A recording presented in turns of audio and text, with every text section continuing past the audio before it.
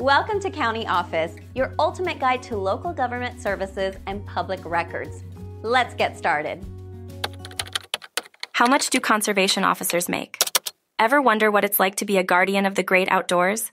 Enter the world of conservation officers. These stewards of nature have a job that's more than a walk in the park.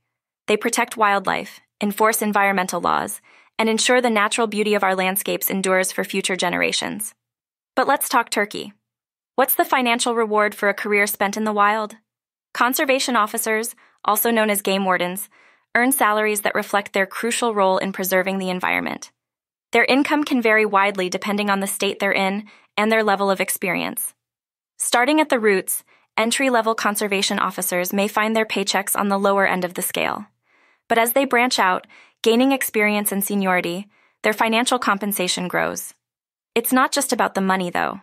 These officers also reap the rewards of working in nature and contributing to the conservation cause. In some areas, conservation officers are state employees, and their salaries are set by government pay scales. This means they can enjoy benefits like health insurance, retirement plans, and paid vacation. Plus, there's always room to climb higher on the salary tree with promotions and additional responsibilities.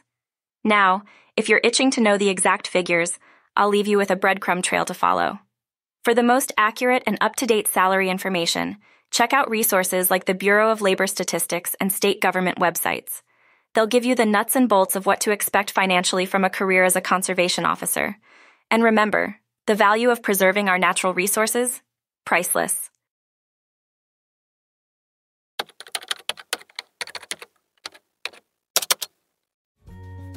To learn more, check out these links, which you can click in the description below.